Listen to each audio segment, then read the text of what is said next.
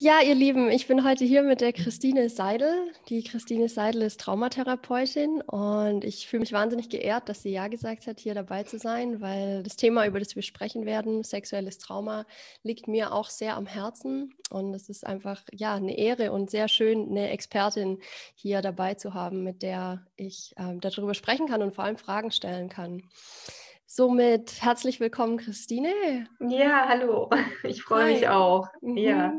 Voll schön, danke. Ähm, du kannst dich gerne selber mal vorstellen, vielleicht auch ein bisschen, wie du dazu gekommen bist, Traumatherapeutin zu werden, was du so machst. Genau. Ja, mache ich sehr gerne. Mhm. Ähm, also letztendlich ist es so, dass ich natürlich in dem Bereich auch schon gearbeitet habe und als Coach und dann mit tiefenpsychologischer Psychotherapie und mhm. dann selber als Betroffene da quasi dran gekommen bin. Ne?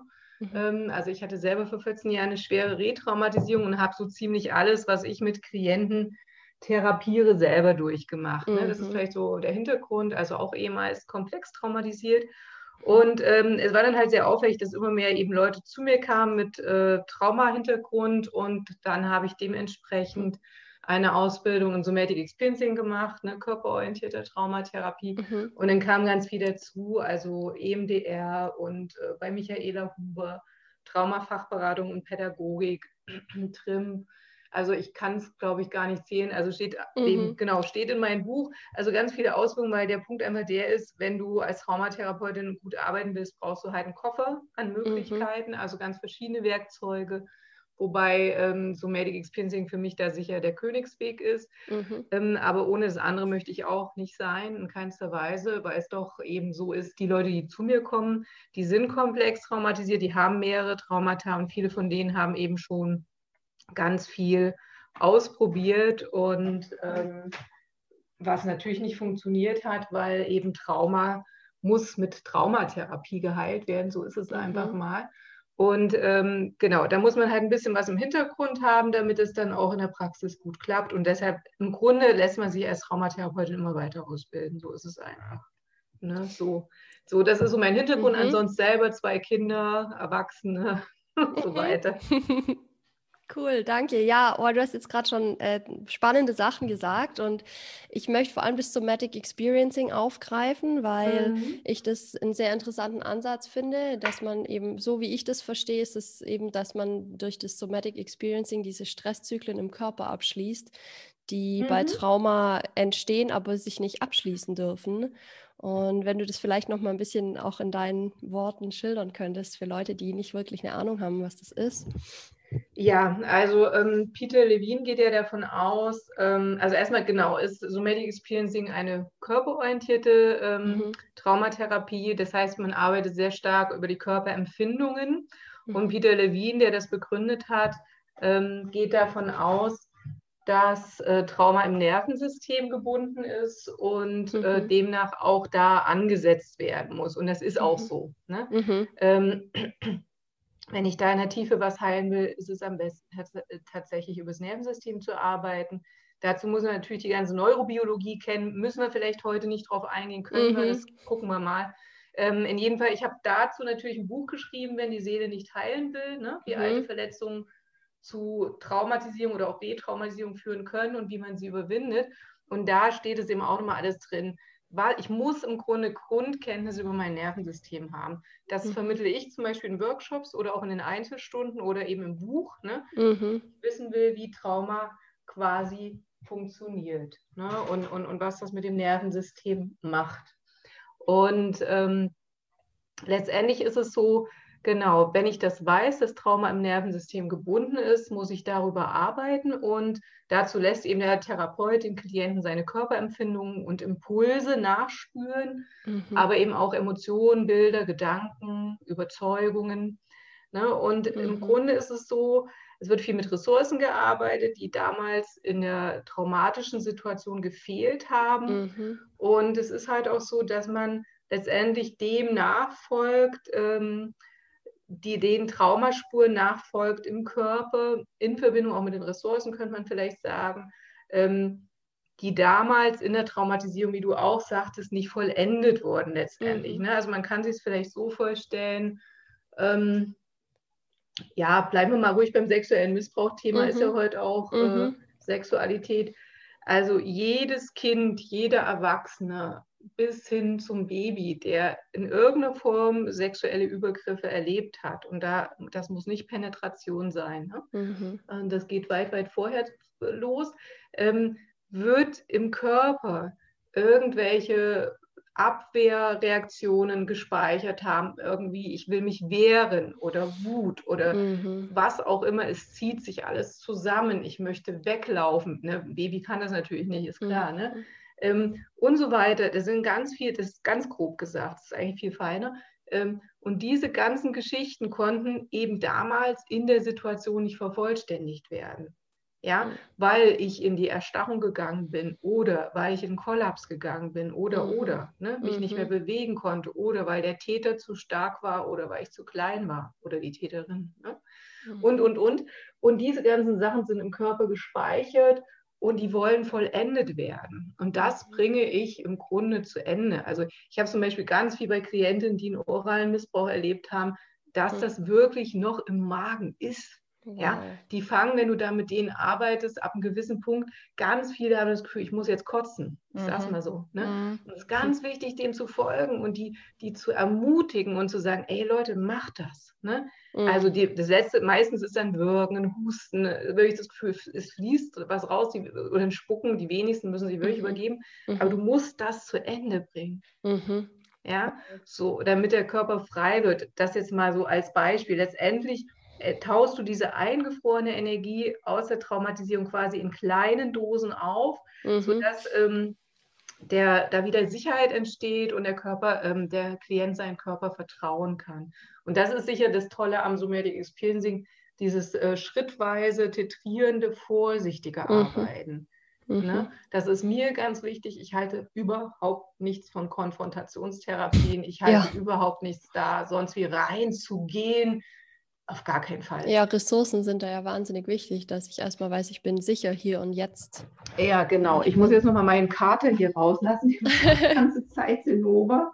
Ja, ich finde das, ja, ich finde das auch total spannend, weil, weil diese Erfahrungen ja, wenn wir, wenn, wenn eben das Trauma stattgefunden hat und man konnte das nicht verarbeiten, dann bleibt es ja buchstäblich im Körper Richtig. hängen. Mhm. mhm. Und ich finde es dann auch spannend, was das dann für Langzeitwirkungen hat. Ja, ja also was absolut. ich so gehört habe, Autoimmunerkrankungen, Depressionen, chronische mhm. Schmerzen und ähm, oft mhm. ist es tatsächlich traumabasiert. Genau, genau. Also im Grunde kann Trauma alles an Symptomen machen, von denen wir jemals im Leben gehört mhm. haben. Eben durch, die, durch den hohen Stress im Körper letztendlich. Mhm. Ne? Und was mir vielleicht nur wichtig ist, ähm, genau das wollte ich mich eigentlich sagen, im Somatic Experiencing ist eben das Tolle, ich gehe nicht in die Konfrontation, ne? mhm. sondern ich habe zwei Varianten. Und das finde ich schon mal großartig. Bei vielen ist es ja so, dass sie kommen und sagen, Mann, ich habe hier Symptome, ne? Mhm. mir geht es nicht gut oder Beziehung funktioniert nicht oder der Sex ist nicht das, wie nicht so, wie er sein sollte mhm. oder oh Gott, ich habe da die totale Abwehr dagegen oder ich habe Körpersymptome oder Erkrankungen oder mhm. meine Ärztin hat gesagt, ich muss da erstmal hingucken, was auch immer. Und ähm, Fakt ist, ich muss ja nicht wissen, was das Trauma dahinter ist. Es reicht, mhm. an den Symptomen zu arbeiten. Mhm, ne? Weil gerade beim sexuellen Missbrauch ist es ja, und damit verarbeite ich auch, ne? Äh, mhm. Beim sexuellen Missbrauch ist es ja gerade so, wie oft ist der vollkommen abgespalten? Mhm. Wie oft ist der nicht erinnerbar? Ne? Mhm. Und es ist aber eben im Gegenzug auch nicht in Ordnung, dass ich als Therapeutin dann suggeriere, ähm, ah, vielleicht könnte da ein sexueller Missbrauch sein. Klar, ich habe natürlich mhm. als Traumatherapeut also meine Gedanken. Wenn jemand kommt und ständig mit Blasenentzündung zu tun hat, mhm ähm, dann klingeln bei mir so die Alarmglocken, weil es eben sehr oft, nicht immer, aber mhm. natürlich sehr oft äh, tatsächlich mit Missbrauchshintergrund zu tun hat. Insbesondere, wenn dann keine Antibiotika wirken, wenn das monatlich auftritt und, und, und. Ne? Mhm. Dann läuten bei mir die Alarmglocken und dann habe ich zumindest den Gedanken, könnte es sein, dass da was in diesen diesbezüglich. Und wenn die Schmerzen so sind, dass sie überhaupt völlig unerträglich sind, das ist auch der Klassiker bei, bei Blasenentzündung, nichts hilft, ne? mhm. ähm, dann habe ich das im, im, Kopf. Aber ich muss eben als Traumatherapeutin da wirklich vorsichtig sein, weil ich sonst falsche Spuren legen kann. Mhm. Ne?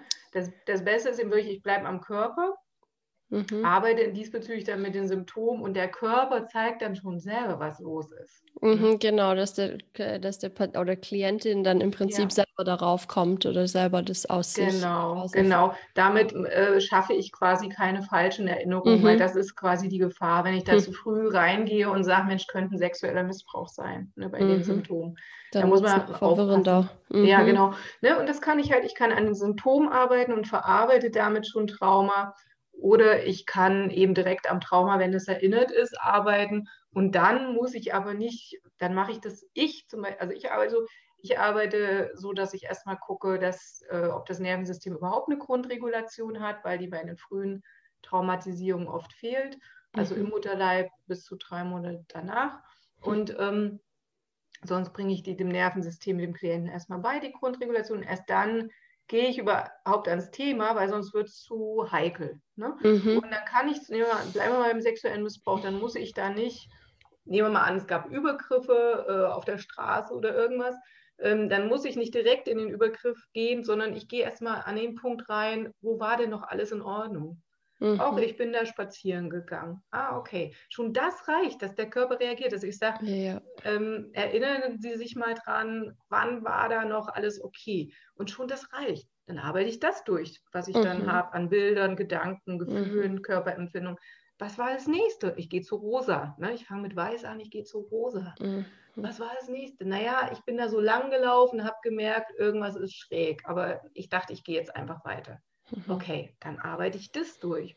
Ne? Gehe zu, und dann gehe ich weiter zu dunkelrosa und das ist, und dann war der quasi da und, und, und. Ich will es jetzt nicht, um nicht zu triggern, ausweiten, mhm. aber ich will nur sagen, ähm, ich kann also ein Trauma, also gerade ähm, Traumata, die wie, wie jetzt sexuelle Übergriffe, die gut erinnert sind, wirklich in mehrere Teilabschnitte mhm. mhm. aufteilen und damit habe ich den Klienten sehr auf der sicheren Seite und er wird nicht überflutet. Ne? Mhm. Und ich habe das äh, erlebt, also ich will es jetzt, was heißt Spaziergang, aber ich erinnere mich da an, an eine, mit der ich gearbeitet habe, für die war das quasi, nachdem die Grundregulation hergestellt war. Ja, mhm. und die selber hatte Symptome, dass sie nicht arbeiten konnte, wohlgemerkt. Aber nachdem die hm. Grundregulation des Nervensystems hergestellt war, war im Grunde das Verarbeiten der sexuellen Übergriffe bei ihr zumindest ein Spaziergang. Hm, weil wir wow. es in, Teil, in Teilabschnitte äh, mhm. gegliedert haben. Und die ist super sicher aus den Stunden wieder rausgegangen. Ne? Stark. Ne? Und mhm. ist aus ihren Depressionen rausgekommen. Die waren hm. danach weg. Ne? Wow. Oh. Ja, es ist schon sehr faszinierend. Jetzt würde mich hier äh, interessieren, weil das war ja auch was, was ich wirklich dich fragen wollte. Ab wann können wir von sexuellem Trauma sprechen? Wobei ich mich mhm. ja auch erinnere, ich glaube, gerade Peter Levin hat es vielleicht gesagt, dass Trauma nicht äh, situationsbedingt, sondern nervensystembedingt ist. Also was etwas für eine Person traumatisieren kann, ist für die andere vielleicht nicht. Ähm, aber dennoch habe ich aus mhm. eigener Erfahrung erlebt, dass ja sexueller Missbrauch ist halt nicht unbedingt gleich eine Vergewaltigung, sondern nee. äh, fängt viel, viel früher an. Richtig. Kann mit dem eigenen Freund oder Liebhaber sein, wo ich mich zum Beispiel einfach nicht getraut habe, Nein zu sagen. Genau, genau. So mhm. ist es. Also, ich würde da ein bisschen unterscheiden wollen. Mhm. Ich würde beim sexuellen Trauma tatsächlich das nicht gleichsetzen mit anderen Traumata, weil wenn du zu Recht sagst, nicht alles, was für den einen traumatisierend ist, ist auch für den anderen traumatisierend, dann stimmt es. Ne? So. Mhm. Weil unsere Nervensysteme prinzipiell so aufgestellt sind, dass wir Trauma gut verarbeiten, äh, nicht Trauma, Quatsch, dass wir Stress gut verarbeiten können. Mhm. So. Es kommt dann aber sicher darauf an, wie waren meine frühen Jahre, wie stabil war meine Elternbeziehung, mhm. habe ich dadurch eine Sicherheit und stabilen Boden zum Beispiel gekriegt. Mhm.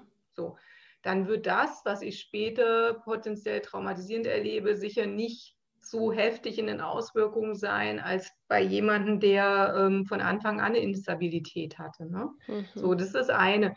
Das andere, nehmen wir mal das Beispiel ähm, ja, Sturz habe ich schon so oft gebracht, aber ist vielleicht das beste Beispiel. Oder mach mal OP. Nicht jede OP muss für jeden traumatisierend sein, auf gar mhm. keinen Fall. Ne? Es gibt Operationen, sind gut vorbereitet. Entschuldigung. Okay. Heutzutage hat man auch Propofol und so weiter. Das ist ein Narkosemittel, was äh, per se nicht so traumatisierend ist. Und dann muss es nicht traumatisierend sein. Ne? Aber mhm. bei anderen, die eben vielleicht schon in der frühen Kindheit verlassen wurden, hm. äh, die das kennen, dass niemand da ist und wenn dann eine OP kommt, wo sie vielleicht noch liegen gelassen werden oder ähnliches, dann ist es so, dass äh, diese OP traumatisierend sein kann, insbesondere wenn die zu schnell oder zu viel ist. Ne? Mhm. So. Und ähm, bei, ich würde, also das heißt, so Traumata wie ein Fahrradunfall, überhaupt Unfälle, ein Sturz, eine OP, äh, mal ein schlechtes Erlebnis beim Zahnarzt. Also, also diese Dinge sind massiver Stress, können aber unter Umständen, je nachdem, bei dem einen gut verarbeitet werden, beim anderen ein Trauma hervorrufen. Mhm. So. Äh, beim sexuellen Missbrauch oder Übergriffen würde ich das anders sehen. Ähm, es ist so, und das hatten wir beide auch besprochen, dass schon ein Baby merkt, mhm. es kann es natürlich nicht benennen, wenn der Erwachsene, ob Vater oder Mutter, an die Wickelkommode, nehmen wir an, liegt nackt da. Normalerweise Babys freuen sich, wenn Mama und Papa kommen und so, man kuschelt oder im Bauch kitzelt oder oder. Ne? So, mhm. Aber das Kind kann es merken, wenn plötzlich was umschwenkt und da irgendwas Sexuelles überschwappt. Es mhm. kann es nicht benennen, aber es ist definitiv im Körpergedächtnis gespeichert mhm. und kann dann unter Umständen eben auch im Erwachsenenalter ähm, Symptome machen. Wow. Ja, das heißt, der sexuelle Übergriff fängt eben nicht an bei einer Penetration, bei mhm. oralen Missbrauch oder so, sowas halt, ne? sondern es reicht im Grunde auch, wenn der Erwachsene, so sehe ich das, das ist meine mhm. Haltung, mhm. äh, das Kind sozusagen sexuell begehrlich anschaut mhm. und äh, vielleicht auch dementsprechend mal anfasst, das reicht, weil diese Art von Energie, das Kind merkt, das Baby merkt, irgendwas stimmt hier nicht, irgendwas ist hier mhm. schräg. Wow. Aber ich kann es nicht einordnen, das Baby ja schon gar nicht. Aber ich kann auch, ich kann es definitiv sagen, es ist im Körpergedächtnis gespeichert. Und an irgendeiner Ecke kommt das wieder hoch. Ne? Mhm. So. Ja, ich frage mich jetzt gerade, vielleicht ist es ein bisschen weit hergeholt, aber mhm. dass ein mhm. Erwachsener manchmal vielleicht sogar unbewusst, äh, für, für, vielleicht auch nur für einen Moment, so einen sexuellen Gedanken gegenüber so einem Baby hat, weil es liegt nackt da. Und ich, ich denke mir halt auch, unsere Gesellschaft hat ja mit Nacktsein oft auch eh schon, also nackt ist ja immer oft auch mit Sex gleichgestellt, zumindest bei Erwachsenen. Und dann kann ich mir fast vorstellen, dass so ein nacktes Baby auch äh, solche Gedanken mal für einen Moment hervorrufen kann. Und vielleicht ist es nicht mal mit großer Absicht, sondern einfach nur der Erwachsene selber, der mit Sex auch nicht vielleicht so gut umgehen kann. Das mag sein, aber ich mhm. sehe es da, also ich bin da ziemlich klar. Ne? Also ich habe mhm. zwei Kinder, wie okay. gesagt, und dann weiß man als Mutter selber, wie es ist. Und die sind super süß, ja, Babys. Okay, Nackte Babys ja. sind super süß. ja. Äh, und, und man liebt seine Kinder. Und klar, ich, ich spreche es mal Klartext, klar findet man äh, vielleicht die kleine Vagina oder den Penis niedlich oder irgendwas mhm. und süß. Aber das ist ein Unterschied zu, mhm. okay. ich habe sexuelle Gefühle. Ja. Das ist ein Unterschied für mich. Und ich finde, aber das ist meine klare Haltung, da ist ein Stopp. Und mhm. wenn ich mhm. da bei mir als Elternteil was merke, dann habe ich mich zu kümmern. Punkt. Mhm. Ja, mhm. und nicht, hm, hm, hm, sondern äh, wenn ich merke, okay, da gibt es immer wieder sexuelle Gefühle. Das ist ja was anderes als auch Mann hat der, der kleine Junge einen süßen Penis. Mhm. Ne? Das ist doch ein mhm, Unterschied. Natürlich ja. ist das Baby süß. Ich meine, mhm. natürlich ist der Hintern zum Reinbeißen und das macht man als Mama oder Papa auch. Aber mhm. doch, doch nicht, und, und dann kreischen die vor Vergnügen, aber doch nicht mit einem sexuellen Hintergrund. Mhm. mhm. Ja. Das ist ein massiver Unterschied. Ja, danke für die Klarifizierung. Ja. ja. Wie kann sich sowas dann auswirken auf, auf das Leben des Menschen, wenn gerade sowas in, in so einem Babyalter, wo, ja, wo es ja wirklich sehr weit weg ist? Ich mache mal ein Beispiel von einer Klientin. Ja. ja mhm. ähm, die, die kam ganz gut durch und so weiter. Ich will ja jetzt gar nicht die Geschichte erzählen, aber kam mhm. irgendwann, merkte sie, hatte sie ein Muster. Sie merkte immer, wenn für sie was Gutes passierte, kam was Schlechtes hinterher. Mhm. Mhm. Also, und das hatte dann irgendwann sehr unangenehme äh, Auswirkungen. Zum Beispiel, sie hatte dann Zahnärzte, endlich mal jemanden zum Vertrauen, endlich mal ein guter Zahnarzt. Und dann, konnte, dann ging das erst gut los und die konnte darauf warten, dass dann was Schlimmes passierte. Hm. Ja? Also das, also das zeigte sich quasi im äußeren Leben ganz plastisch in immer wieder, ich lerne jemanden kennen, mhm auch im medizinischen Bereich, und da ist das natürlich tragisch, ne? gerade beim Zahnarzt ist das tragisch. der ist vertrauenswürdig, ich mhm. vertraue den total mhm. und buff, und jetzt passiert was Schlimmes. Ja? Und was ist da dann passiert mit dem Zahnarzt? Ah, Fehlarzt, Fehlbehandlung und, und, okay, und. Krass. Bei Leuten, wo das eigentlich nicht passieren dürfte. Hm. So. Und das war dann so auffällig, äh, dass die Klientin gesagt hat, jetzt muss ich hier hingucken. Mhm. Äh, hier stimmt was nicht. Ne? Und dann haben wir gesagt, okay, keine Ahnung, was da ist. Und äh, wir haben das dann mit EMDR in dem Fall, also diesen Augenbewegungen bearbeitet. Mhm. Mm, und dann kam ganz deutlich eine Körpererinnerung raus und ne, dass quasi das Baby auf der Wickelkommode lag, mit Papa am Schäkern war, alles schick, schöne Energie. Und das war das, ich vertraue. Ne? Das Baby öffnet mhm. sich, ich vertraue. Mhm. Das Gefühl, alles ist in Ordnung. Und auf einmal kam eben in dieser äh, Körpererinnerung und auch, also ich konnte das auch sehen, ähm, mhm. wirklich wie so eine dunkle Energie. Das ganze Feld stimmte nicht mehr. Also das war genau das, was sie im Außen gelebt hat, erlebt hat. Mhm, mh. Alles ist in Ordnung. Ja, ich vertraue, es scheint alles gut zu sein, auf einmal passiert was Schlimmes. Und das war quasi die Erfahrung mit dem Vater, äh, mit dem, wir können da nicht sagen, welch, wie genau denn der Übergriff war, ne? weil da die, die Erinnerung nicht da war. Aber der mhm. Körper hat sofort alles hat dicht gemacht. Mhm. Es war ganz dunkel. Ne? Mhm. Und es war ganz klar, dass quasi die Energie von was Positiven, Papa ist gut, gewechselt hat in, in dieses Sexuelle hinein. Und dann haben wir das halt durchgearbeitet, damit das Muster im Außen quasi sich wieder verabschieden kann. Mhm. Ne? Weil das ist tragisch. Ne? Und so oh. kann es eben auch wirken, das glaubst du ja nicht. Ne? Dann denkst ja, du, oh, ich, ich habe halt Pech gehabt. Ne? Ich finde es wahnsinnig spannend, weil das ist ja, ja fast was, was Metaphysisches, mhm. wo man sagen könnte, sie so hat ja keinen das. Einfluss darauf, dass so der Zahnarzt das. auf einmal da was falsch so macht, aber, aber irgendwas ist da am Werk, was dann ja. diese Situation rekreiert, mhm. bis man hinschaut. Richtig, genau. Und das ist das Dramatische, eben wenn man das halt ähm, aus mangelnder Kenntnis, deshalb habe ich ja auch mein Buch geschrieben, ne, mhm. um die mhm. Leute mal ein bisschen aufzuklären, mhm. ähm, damit die eben nicht so eben ins, ins Nichts rennen und, und bestimmte Dinge hinnehmen und nicht verstehen, was dahinter ist. Ne? Mhm. Ja, also Trauma kann nicht nur im Inneren Stress kreieren, sondern auch im Außen. Mhm. Ja, und äh, wow. ne, ich erinnere mich zum Beispiel, ich schreibe das auch im Buch, ähm, zum Beispiel diese frühen Traumatisierungen im Mutterleib äh, bis, bis äh, so drei Monate nach der Geburt, wenn da was passiert, ne, oder die Mutter sehr gestresst ist oder der Vater mhm. oder das Kind nicht beantwortet, nicht reguliert wird, nicht gehalten wird oder mhm. im Brutkasten früher lag, jetzt ist das ja ein bisschen anders, ähm, dann haben wir ein Nervensystem, was sich nicht reguliert. Und zwar Zeit des Lebens, bis derjenige Traumatherapie macht. Ne, und hier am besten mhm. körperorientiert. Ähm, mhm. Wie sich das äußert, ist unterschiedlich. Es gibt Leute, die kommen sehr gut durch mit ein paar Symptömchen und da bricht es erst im hohen Alter raus. Mhm. Es gibt Leute, die von Anfang an lebensunfähiger sind. So. Warum das so ist, weiß keiner genau. Okay. Es kann die gute Oma sein, es kann der gute Lehrer mhm. sein, aber nicht bei allen ist die gute Oma und der gute Lehrer da. Also mhm. das heißt, warum die eine Traumatisierung beim einen sofort sichtbar wird und beim anderen erst viel später, ähm, kann ich zumindest nicht abschließend beantworten. Mhm, das ist nicht, okay. nicht deutlich ersichtbar. Also es ist oft der gute Mensch, andere Mensch, der noch irgendwie da ist, aber eben nicht immer. So. Mhm.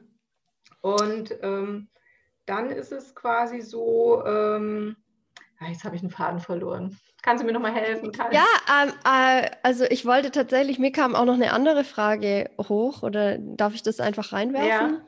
Ja. Ähm, weil ich es auch einfach nochmal spannend finde zu erklären, wie Trauma dann eigentlich entsteht und so, wie ich das jetzt in simplen Worten gerade verstehe, ist, dass wir eben einer stressigen Situation ausgesetzt sind, die sich unter Umständen auch lebensbedrohlich anfühlt mhm. und, und wir kommen aus dieser Situation eben nicht auf eine Art und Weise raus, wo wir uns dann wieder komplett sicher oder erholt sozusagen fühlen, sondern ähm, ähm, der, der Stress bleibt eben, weil, weil vielleicht auch die nach, die, die, die Situationen, mhm. die danach kamen und uns, uns kein sicheres Gefühl weiterhin vermittelt haben.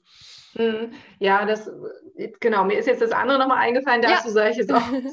genau, also eben wenn wir dieses nicht regulierte Nervensystem haben aus der frühen Traumatisierung, dann mhm. ist es zum Beispiel so, dass das oft Menschen sind, die hochintelligent sind, sich mhm. sehr engagieren hm. aber denen es unter Umständen passieren kann. Und das weiß eben tatsächlich kaum einer, dass sowas möglich ist. Das sind dann diejenigen, die immer wieder sich bemühen, die wirklich ihr Bestes geben und die machen auch keine Fehler. Das ist das, was ich wirklich unterscheiden möchte. Und trotzdem erleben die im Außen zu Deutsch nur Scheiße. Krass. Immer wieder Widerstände, die sind die Einzigen beim Jobcenter, die immer wieder Ärger haben. Also ne, es mhm. ist halt so auffällig. Ein mhm. totales Engagement, ne? Mhm. Sich wirklich bemühen, die Dinge in den Griff zu kriegen und im Außen das totale Chaos. Und das ist wichtig zu verstehen. Gerade bei diesem nicht regulierten Nervensystem, das innere Chaos der Nichtregulation äh, also schafft häufig, nicht immer, das ist wichtig, mhm. aber häufig im Außen ebenfalls ein Chaos, mhm. was sich dann zum Beispiel mit Behörden, mit Arbeitsproblemen etc. zeigt. Mhm. Und zwar nochmal, da möchte ich Wert drauf legen. Klar haben wir die Klienten, die eine alte Wut nicht, äh, nicht verarbeitet haben und die dann, mhm. dann unbewusst immer beim Chef durchkommen. Natürlich mhm. reagiert er ja drauf. Aber das meine ich in dem Fall nicht. Sondern ich meine wirklich, dass das Leute, Leute gibt, die sich total engagieren und da auch kein fehlerhaftes Verhalten zeigen okay. in dem Sinne. Hm. Und trotzdem manifestiert sich im Außen nur Blockade, Blockade, nochmal Blockade. Wow. Ne? Weil das Unterbewusstsein im Prinzip das irgendwie dann doch kreiert, oder wie könnte man ja, das und, und dieses, erklären? Dieses chaotische, ja. genau, dieses chaotische Nervensystem kreiert das im mm, Grunde. Mhm. Ne? Und das ist ja, wie du sagst, schon fast metaphysisch. Ja. Und, und mir ist wichtig, dass Leute es verstehen, weil wenn ich das habe und weiß, dann weiß ich, okay, die Lösung ist auch hier Traumatherapie. Mhm. Je weniger chaotisch mein Nervensystem ist, je mehr Ruhe da ist, umso mhm. ruhiger ist es im Außen. Mhm. Hm. Ja, nicht bei und, allen, aber es mhm. gibt so, so, so Klienten. Ne? Spannend. Also ich, ich denke jetzt gerade auch, ich, mir begegnen immer wieder Menschen in meinem Leben, die auch so zum Beispiel total verzweifelt nach einem mhm. Partner oder einer Partnerin suchen. Ja, und irgendwie ständig Menschen treffen, die dann aber emotional nicht Mit verfügbar Trauma sind. zu tun. Mhm. Ja. Mhm. Soll ich, ich das so sagen? sagen? Ja, ja, hm? ja. Ja, ja, ja, gerne. Ja, also ich finde es auch spannend, weil also auch in meinem Coaching oder in der Arbeit, die ich tue, ist das schon auch immer wieder ein Thema, was ich sehr spannend finde. Also genau. Also ich hatte letztens einen Satz sagen bei einer spirituellen Lehrerin und dann sagte mhm. die Mensch Leute, ihr seid alle so erwachsen, also ihr habt mir zugehört, äh, wir kennen uns ihr seid alle erwachsen, ihr müsst doch wissen, was ihr wollt. Wollt ihr jetzt irgendwie äh, heiraten und mit jemandem zusammenwohnen oder wollt ihr nur hm. dreimal die Woche in die Kiste hüpfen? Mensch, ihr seid doch alt genug, das für euch klar zu haben. Wie soll das denn sonst aus dem Außen kommen? Hat sie mhm. recht erstmal. Ne? Mhm. Also Klarheit, was will ich denn überhaupt? Was möchte ich, damit es sich dann auch manifestieren kann, äh, ist absolut richtig.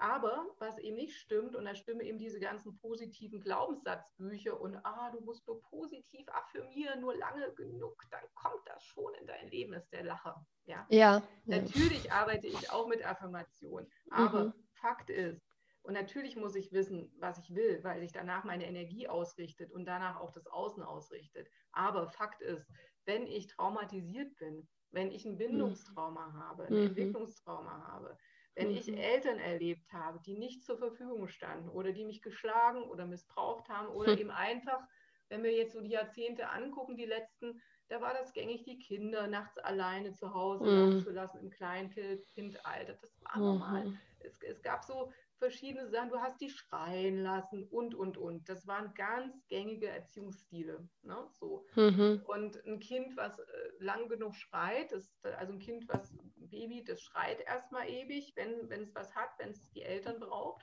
So, wenn das nicht beantwortet wird, schreit sie es in Rage. Mhm. Dann kommt die Erstarrung. Ne? Erstarrung ist im Grunde, also Rage wäre jetzt Sympathikus vom Nervensystem. Mhm. Erstarrung wäre Sympathikus und dorsaler Vagus vom Parasympathikus, die beide hochgefahren sind. Und dann kommt die Erschlaffung. Der dorsale Vagus vom Parasympathikus übernimmt. Das Kind sieht ruhig und entspannt aus. Schwachsinn. Hm. Es ist nicht ruhig und entspannt. Es ist in einer dorsal-vagal bedingten Erschlaffung. Und damit ist es quasi ein traumatisches Erlebnis, was auch noch mit Dissoziation gekoppelt ist, die Erstarrung und die Erschlaffung. Ne? Hm. Das heißt, ich koppel mich vom Körper ab, macht das Nervensystem als Schutzmechanismus alleine. Und je öfter ich das als Kind gemacht habe oder mein Nervensystem es als Kind gemacht hat, umso mehr mache ich es als Erwachsener, wenn ich keine Traumata habe. Mm, mhm. Und äh, wenn meine Eltern mich eben quasi nicht reguliert haben, nicht versorgt haben oder war sogar gewalttätig waren oder was auch immer ähm, oder liegen gelassen haben, dann ist, habe ich quasi äh, ein Bindungstrauma. Das heißt, ich weiß nicht, welcher Mann, welche Frau ist gut für mich. Mhm. Ich habe Anteile in mir, die wollen Nähe, die wollen aber vielleicht symbiotische Nähe. Ja, also mhm. das, was das Kind nicht hatte. Jetzt mhm. möchte ich mir den anderen aber greifen und ne? Ja, so und das kriegen, was ich als Kind gekrieg nicht gekriegt habe, das ist, geht so gut wie immer schief, weil der andere merkt das und reicht mhm. aus. Ne? Mhm. Und dann habe ich natürlich Anteile, die sagen, das, was ich als Kind erlebt habe, möchte ich nie wieder erleben, also gehe ich auf Distanz. Das heißt, äh, bei einem Bindungstrauma haben wir es mit einer Melange aus Anteilen zu tun, die vielleicht Symbiose wollen oder die absoluten Abstand wollen. So, mhm. mit diesen Anteilen muss ich arbeiten. Ja? Mhm. Was ich zum Beispiel gerne mache, ist, dass ich sage, stellen Sie sich mal jetzt vor, jetzt kommt der Traumprinz, der steht vor Ihnen und sagt, mhm. ich liebe dich, ich heirate dich, möchte mit dir zusammen wohnen. Wie geht es mhm. Ihnen jetzt? Mhm. Und dann geht es schon los, dann das kannst du sehr schön über den Körper arbeiten. Ja. Weil ja. Dann, oh, so, ne, also das, das, ist so, im Grunde kann man sagen, wenn Trauma nicht bearbeitet wurde, traumatherapeutisch, dann mhm. suche ich mir unbewusst meine Partner genau nach dem Level aus, wo ich gerade stehe. Mhm. Ja, das heißt, ich, äh, die Leute, die dann kommen, die Männer oder Frauen, die kommen, wo ich dann brenne, da kann ich sagen, vorsehen, vorsehen, brennen ist ganz schlecht, mhm. weil brennen immer ist Trauma, connected Trauma. Das heißt, mhm. ich ziehe einen Partner an, der mich genau da reinbringt in die, ne, oder in die alte Traumatisierung oder genauso mhm. reagiert, wie ich es schon bei meinen Eltern erlebt habe. Das mal grob gesagt, ne? sehr grob. Und das heißt, ich habe vielleicht immer wieder Partner, die Be die, Be die Beziehung abbrechen, ne? die erst mhm. ganz begeistert sind von mir und dann sind sie weg. Ja? Hm. Und, mhm. und ähm, diese Geschichten. Und das ist natürlich total belastend, weil auch hier ist es so, derjenige bemüht sich vielleicht oder will vielleicht sogar sehr oder möchte endlich eine feste Beziehung oder irgendwas.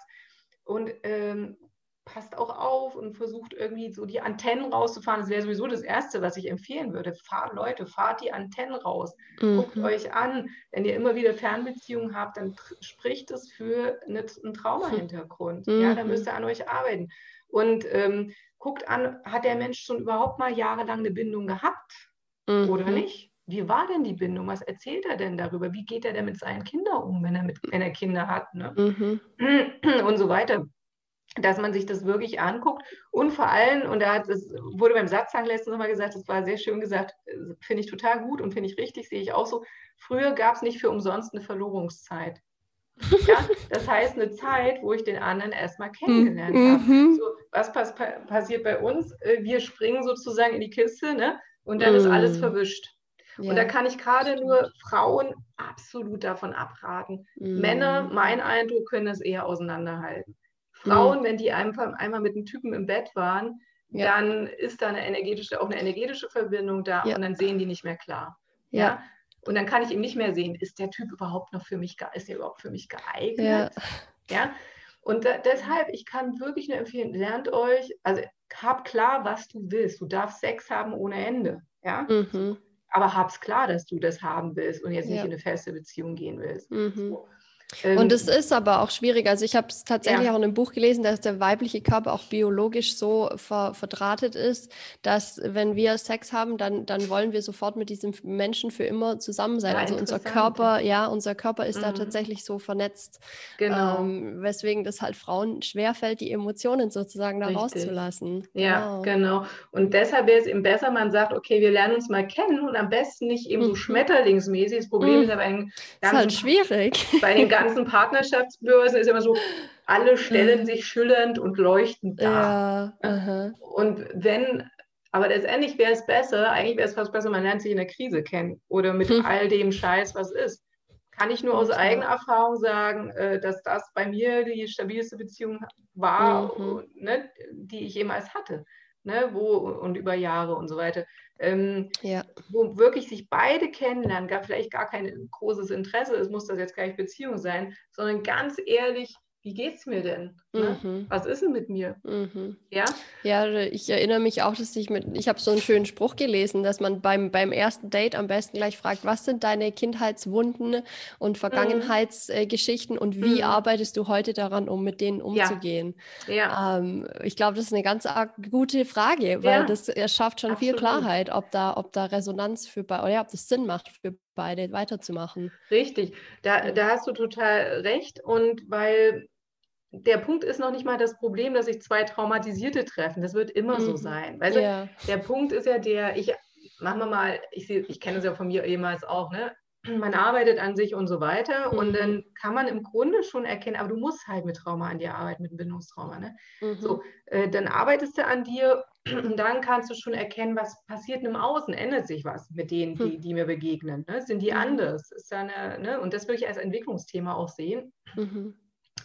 Und äh, dann wird irgendwann, wenn ich genug an mir gearbeitet habe, jemand kommen, der eben nicht gleich wegrennt, ne? Mhm. sondern der bleibt, der vielleicht auch seine Traumawunden hat, aber mhm. der zumindest bereit ist, damit hinzugucken. Mhm. Weil das Problem ist ja nicht, dass wir uns triggern in Beziehungen. Beziehungen sind ja ein wahnsinnig guter Ent Entwick eine wahnsinnig gute Entwicklungsmöglichkeit. Mhm. Wahnsinnig oh, ja. gut. Ne? Mhm. Und da komme ich eben gerade an bestimmte Traumata und sonst was ran, äh, an die ich sonst alleine gar nicht rankomme. Ne? Ja, ist es auch deine Erfahrung, dass, dass da tatsächlich auch, wenn wir uns in einer Beziehung weitgehend sicher fühlen, dass dann bestimmte Dinge auch erst hochkommen, weil unser System sich endlich eben sicher fühlt, um, um das an die Oberfläche kommen zu lassen? Das kann sein, ne? muss nicht sein, mhm. kann auch sein, dass mhm. von Anfang an alles. Okay, ja. Aber klar, das ist natürlich, je mehr Sicherheit, umso mehr kann sich zeigen. Mhm. Das kann sicher auch ein Punkt sein. Ne? Mhm. Ähm, in jedem Fall will ich nur sagen, geht es nicht darum, dass ich jemanden treffen muss, der keinen Trauma-Hintergrund hat, aber ich muss natürlich jemanden treffen, der sagt, ich gucke mir es auch an. Ja. Es sollte selbstverständlich sein, dass wir sagen, wir machen ab und an mal eine Paarsitzung.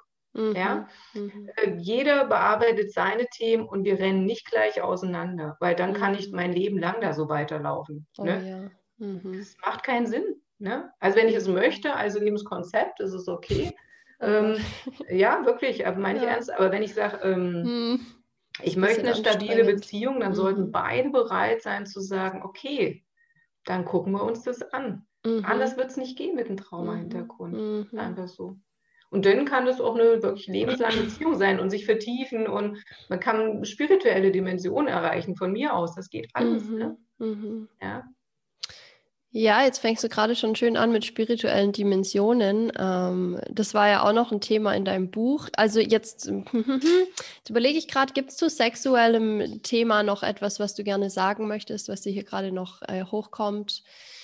Ähm, ja, also ich möchte, mhm. ich möchte, ich will gerade, ähm, ich möchte nochmal eben eröffnen und nochmal dringlich darauf hinweisen, dass nicht jeder sexuelle Übergriff ein sexueller Missbrauch sein muss mhm. sondern äh, dass es zum Beispiel auch reicht, und das ärgert mich, das hatten wir auch besprochen, es ärgert mich wahnsinnig, mhm. dass da so viel Nichtwissen da ist. Mhm. Es reicht zum Beispiel, dass eine junge Frau, ein, Junge äh, in einer ersten Liebesbeziehung sind und mhm. ähm, das Mädel denkt, naja, das muss jetzt halt so sein.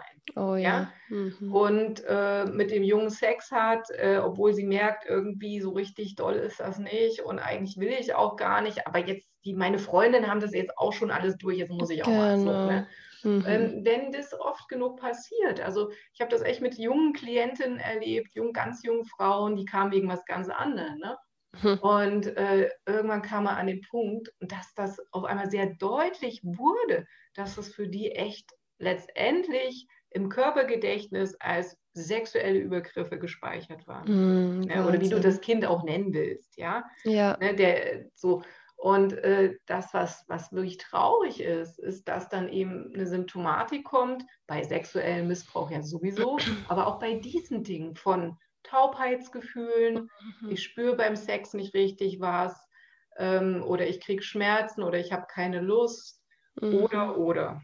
Ja, mhm. so, das heißt, auch dieses, und das wird eben in der Schule nicht beigebracht, und das finde ich oh unmöglich. Oh, ja. Ja. Es wird den Jungs nicht beigebracht, wie sie mit den Mädchen umgehen müssen mhm. und auf was da zu achten ist. Kommunikation, und, ja. Genau, und es wird den Mädchen nicht beigebracht, auf den eigenen Körper zu hören, zu spüren, was will ich überhaupt. Mhm. Und auch, dass das Mädchen Nein sagen darf. Mhm. Oder vielleicht nur sagt, okay, ähm, als Beispiel, keine Ahnung, Petting oder was weiß ich nicht, ist okay, aber ich mhm. merke, wenn du jetzt in mich eindringen willst, nee. Ja. Ne? Also, sondern die machen das halt.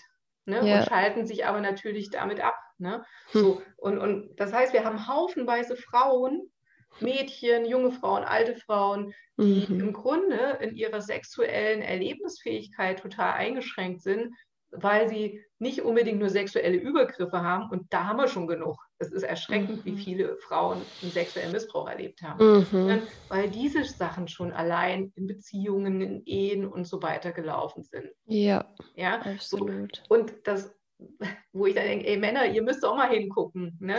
ich meine, für die Männer ist ja dann auch, ähm, wenn ich da nicht fein bin als Mann, ne, mhm. ne, habe ich ständig mit Frauen zu tun, die in irgendeiner Form tatsächlich eben sexuell eingeschränkt sind. Mhm. Das heißt, auch die Männer sollten doch ein Interesse daran haben, dass sich da die Dinge ändern. Mhm. Ja? Ne?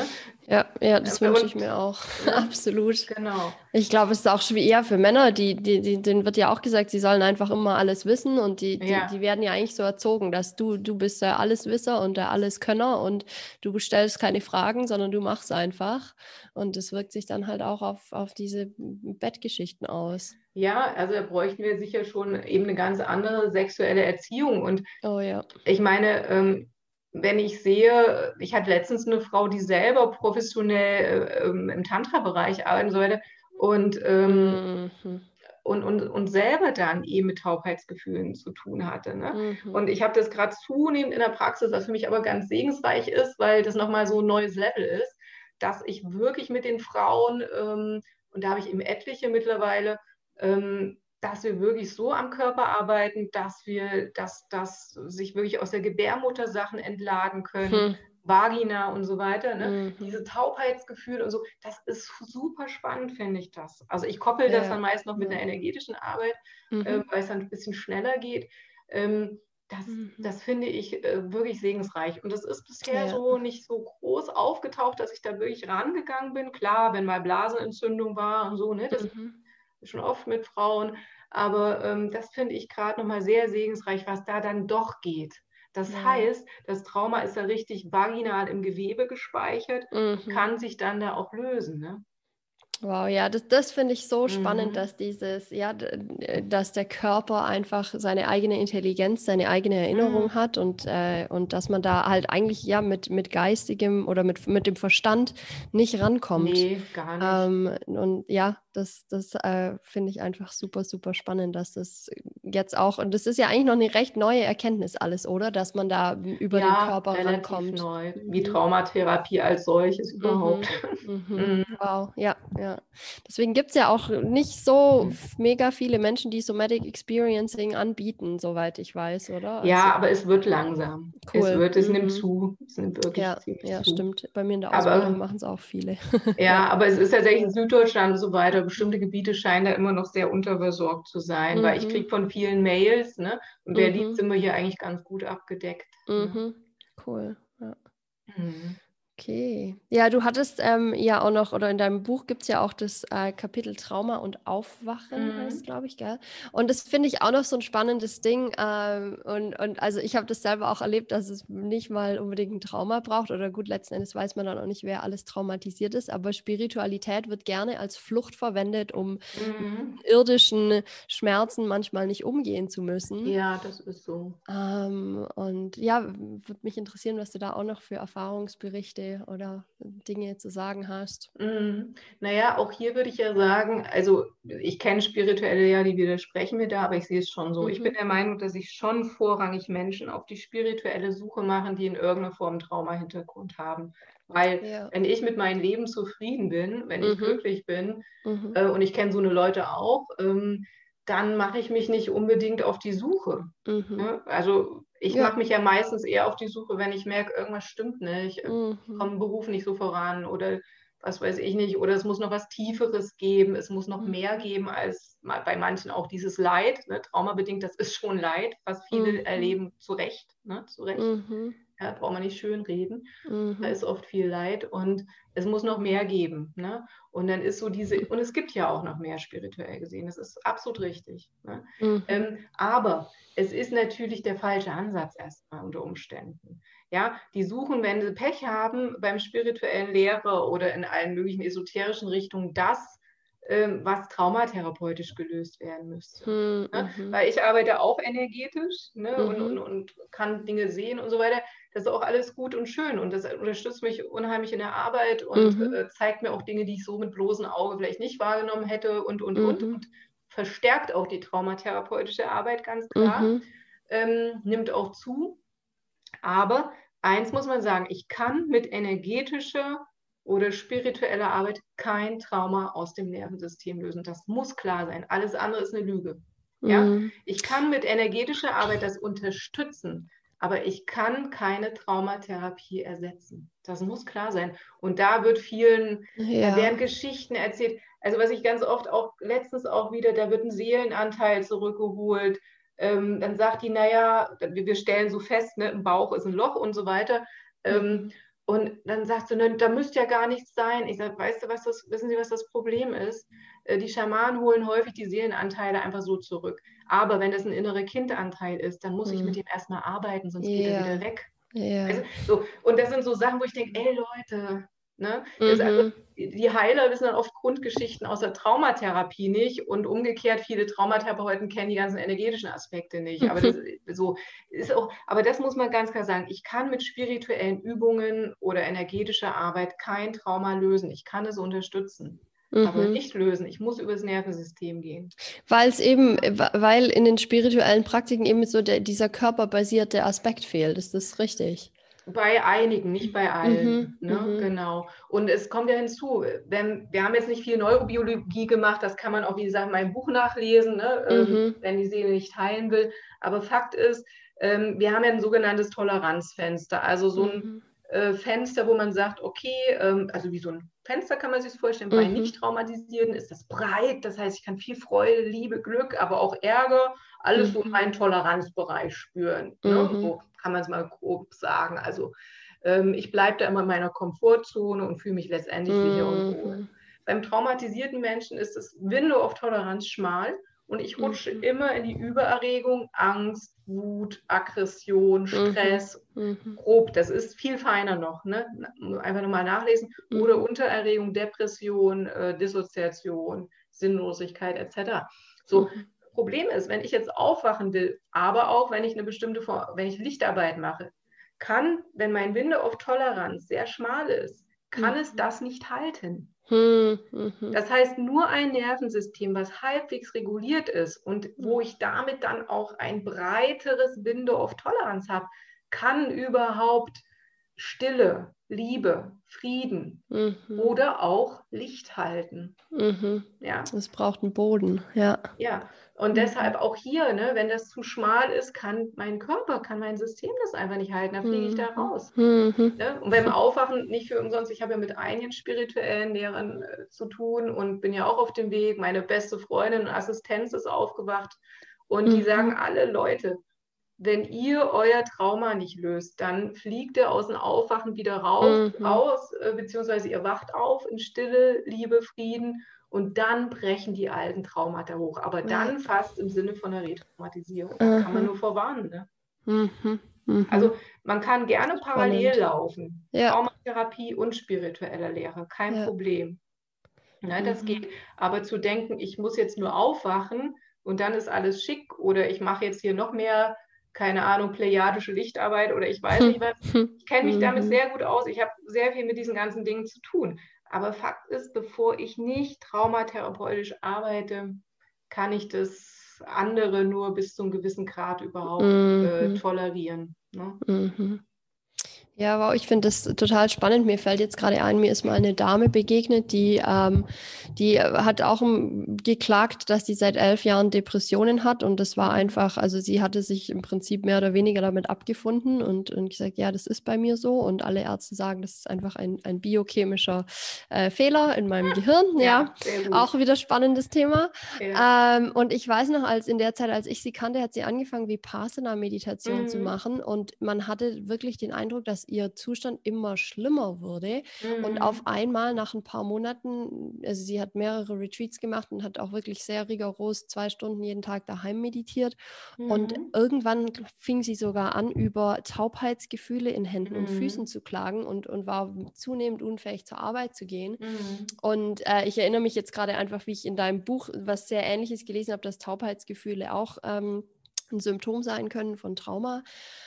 Und ja, da, das war so für mich ein, eins der Beispiele, dass, dass vielleicht da so eine Flucht in Meditation und spirituelle Erleuchtung äh, stattgefunden hat, aber der Schuss eigentlich ziemlich nach hinten losging. Ja, genau. Ne? Also der, ich habe da ja auch dieses Kapitel Traumasensitive Achtsamkeit im Buch. Mhm. Ähm, der David Treleven hat da ein sehr schönes Buch drüber geschrieben.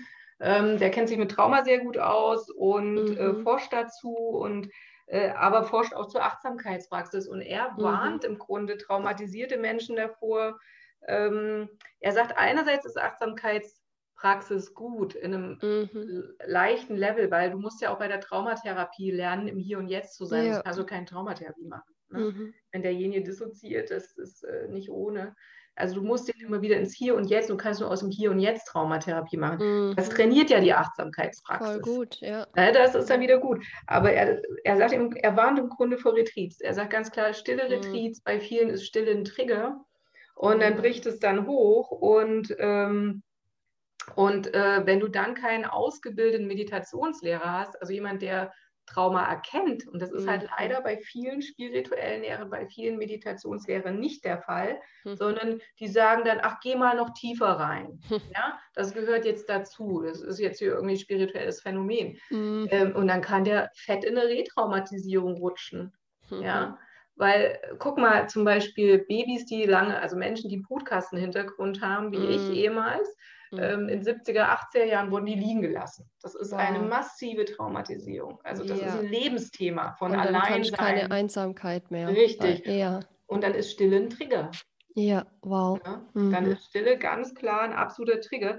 Und ähm, der Treleven hat dann auch Werkzeuge entwickelt, wie man das sozusagen so ein bisschen die Gefahr verringern kann und trotzdem meditieren kann. Das habe ich mhm. alles so ein bisschen aufgeschrieben. Das ist auch vernünftig, aber im Grunde ist es genau das, was er sagt. Ich hatte jetzt auch eine Klientin nochmal, ich habe ja einige von spirituellen Lehrern mhm. und die war schon ein paar Jahre bei dem dabei und macht da auch eine sehr gute Übung bei dem, wo man dann aufwachen kann. Und jetzt im Sommer hat sie das erste Mal beim Retreat gesagt, scheiße, ich habe das erste Mal gemerkt, es ist eine hochintelligente Frau, dass ich eben nicht in die Stille gegangen bin, sondern dissoziiert habe. Hm, oh, ja. Aber das ist ein großes Thema für sich. Ne? Äh, mhm. Das, ich glaube, das würde heute den Rahmen sprengen, mhm. lebendige Stille und dissoziative Stille mhm. zu unterscheiden. Darüber habe ich aber auch ein Buch geschrieben. Ne? Ja, ja, habe ich gesehen. Genau. Ne? Ja, das also, ist alles. Mhm, ja. ja, sag du mal. Also ja, ich merke gerade, dass, dass hier so viele Dinge hochkommen und ich habe teilweise das Gefühl, wir haben manche Sachen nur angekratzt. Ja. Ähm, wow, wow. Auf jeden Fall werde ich, ich werde deswegen wahrscheinlich auch die Einladung an Zuhörer und Zuhörerinnen schreiben, dass sie, ähm, wenn sie tatsächlich spezifische Fragen haben, die mir schicken und falls da was zusammenkommt, vielleicht können wir einfach nochmal eine Folge ja. aufnehmen. Ja. Ja, das wäre, fühlt sich für mich gerade gut an. Katja, ich glaube, das ist eine super Idee, ja, weil es ist so, ich kriege genau. halt viele, viele Anfragen und ich kann die nicht bedienen, weil ich habe mm. eine volle Praxis ne, ja, ne? und aha. ich muss meinen Leuten helfen. Ne? Ja. Ähm, deshalb, das fände ich richtig gut, ja, dass dann nicht wieder so mhm, Einzelfragen mhm. kommen, weißt du, die, da habe ich keinen Raum. Aber eine, mhm. so eine Geschichte wie heute, die können wir jederzeit nochmal dazwischen oh, Total gerne. Ja, ja. ja klar, dann, dann mache ich das bisschen publik und, und sammle Fragen oder, oder empfange einfach Fragen, ja. wenn da welche kommen. Ansonsten, wer mehr zum Thema Trauma und Aufwachen und Spiritualität wissen will, da mache ich, ich habe es jetzt, ich glaube, am 13. und 14. März ähm, mit meiner Kerstin, die im Assistenz ist, auch traumatherapeutisch auf, ausgebildet und die mhm. aufgewacht mhm. ist machen mhm. wir zwei Tagesseminar genau zu dem Thema.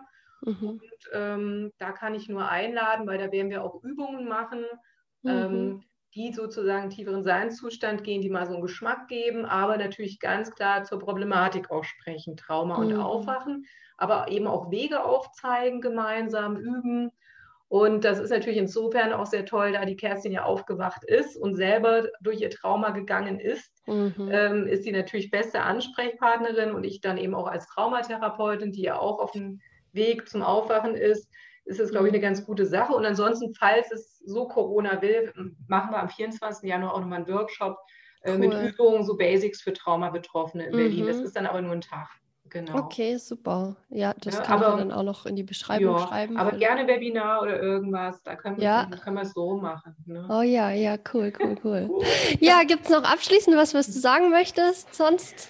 Ach, ich, ich kann Thema, nur sagen, oder? Leute, habt Hoffnung, aber ihr müsst an euch arbeiten. Oh ja, oh, danke. Ja.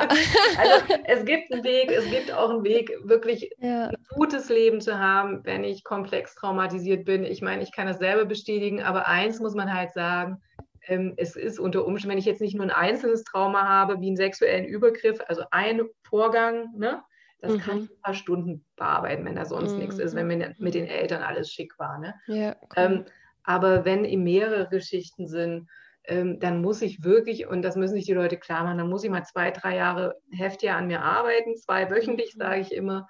Ähm, und das muss ich halt mal tun. Da muss ich halt mal investieren, Zeit und Geld und Kraft. Ja. Ähm, da geht kein Weg dran vorbei. Und dann muss ich eben immer mal wieder ran unter Umständen. Das mhm. ist so ein mhm. bisschen sich klar machen, okay, ich habe da ein Thema, das soll mich nicht äh, begrenzen, soll mich auch nicht einschränken ja. im Leben, aber damit muss ich was tun. So wie wenn ich ja. Diabetes habe, sage ich immer. Da kann mhm. ich auch nicht mhm. sagen, ich will mich nicht spritzen, mhm. weil ich keine Lust habe, dann überlebe ich nicht. Ne? Ähm, sondern ich kann sagen, klar sagen, okay, so ist es, das ist mir widerfahren, finde ich immer noch scheiße, aber ich gehe da jetzt meinen Weg und mhm. ich arbeite an mir und dann kann ich ein gutes Leben haben. Und das ist mein Versprechen. Es gibt Ausnahmen, wo die Traumatisierung so heftig ist, dass da nicht viel zu holen ist. Ne? Aber da sind wir eher, naja gut, will ich jetzt nicht ausweiten, aber das ist selten. Also die mhm. meisten, die ich habe, so gut 99 Prozent, da ist es so, man kann, das ist manchmal super harte Arbeit, mhm. aber man kann da. Ja, aber lohnenswerte Arbeit ja, vor absolut, allem. Ja, absolut. Ja. absolut. Und, und ich, also meine, meine Lehrerin, bei der ich gerade meine Ausbildung noch beende, die ist mhm. eben auch, äh, äh, hat sexuelles Trauma auch in der Kindheit erlebt und deswegen auch viel, also hat dann auch Neurobiologie und so Sachen mhm. studiert und sich viel ausgebildet und hat eben auch gesagt, dass Trauma ihrer Erfahrung nach eben wirklich auch zum, zum Wachwerden helfen kann, weil wir unter anderem vor allem lernen, in uns selber all diese abgespaltenen Aspekte mhm. mit ganz viel Liebe äh, denen Fürsorge zu geben und uns ja. um die zu kümmern. Und das ist ja im Prinzip, was wir wollen, wenn wir Spiritualität verfolgen, dass wir in Licht und Liebe leben wollen. Und wir mhm. dürfen es dann durch schwierige Erfahrungen an uns selber im Prinzip lernen. Und, und ich glaube, dafür ist es wirklich ein ganz schöner Katalysator, dass ich lernen kann, all diese inneren Kinder in mir mit ganz mhm. viel Liebe zu halten. Genau, das und, und es ist natürlich auch der Vorteil beim Somatic Experiencing, ich werde mit meinem Körper immer sicherer. Oh ja, ja, ja. Ne? Das ist ein Nebeneffekt quasi, dass ich dann ja. merke, wow, ich kann ja meinem Körper vertrauen. Ne? Eben mhm. was da noch merkwürdig und eng und sonst wie. Und jetzt mhm. ist beide da. Das heißt, ich kriege immer mehr Sicherheit. Ich bin immer mehr irgendwie sozusagen auch geerdet letztendlich. Ne? Mhm. Ne? Und kann dadurch ganz andere Dinge im Leben halten und, und stemmen auch. Ne? Mhm. Also das ist schon toll so auch das Wachwerden, weil ich glaube, das ist ja auch, äh, das ist ja auch nicht immer irgendwas über den Verstand, wie, wie als in der spirituellen Welt mhm. oft ge gehofft wird, glaube ich, sondern ich, ich muss ja im Körper sein, um das wirklich zu verkörpern eben. Richtig, richtig. Ähm, und, und da ist, ist sowas wie Somatic Experiencing auch echt ein, ein toller Weg. Genau. Ja. Ne? Also man braucht nicht schönreden, komplexe Traumatisierung ist richtig scheiße, Missbrauch ist richtig heftig von den Symptomen. Mhm. Aber, und das ja. ist der Punkt, es gibt einen Weg raus. Ja, ja, danke. Super. Ja, genau. Cool. Gut. Ja. Dann Vielen Dank, Katja. Ja, voll gerne. Ich habe mich auch sehr gefreut, dich dabei zu haben. Dankeschön. Ja, ich fand es auch schön. War ein schönes Gespräch. Total.